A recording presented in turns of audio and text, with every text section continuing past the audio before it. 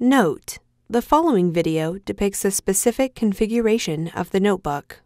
The same removal and replacement procedures apply to all configurations of the notebook.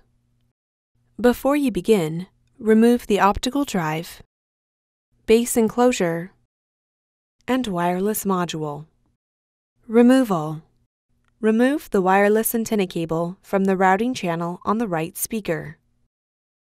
Remove the two 5mm P1 Phillips head screws that secure the right display panel hinge to the top cover. Carefully open the right display panel hinge.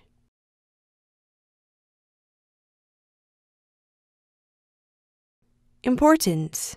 Make careful note of the routing of the power connector cable for later replacement. Disconnect the power connector cable from its connector on the system board.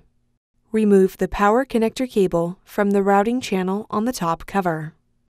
Remove the power connector from the retention tabs on the top cover and remove. Replacement Place the power connector under the retention tabs on the top cover.